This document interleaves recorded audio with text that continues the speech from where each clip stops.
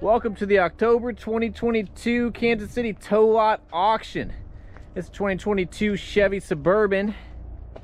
I'm to give you a closer look at this baby. Here's your engine compartment, your hood latch, as you're to see. A little bit messed up. It is functional, but it is broken. So here's the interior of the vehicle. A lot going on in here, but it's pretty clean. It smells good. It's in good shape.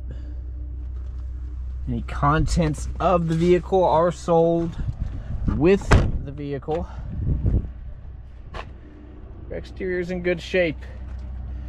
Some nice tires. You do have a different set of tires on the back than on the front.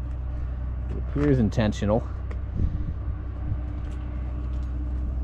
Not a lot to talk about on the outside here. You do have some exterior damage. to This section of the vehicle. That's about it. It's a nice one. Owner usually picks cars like this up. But if it's still here, we're gonna sell it. This one did come with a key. Did not start. There you have it. Happy bidding.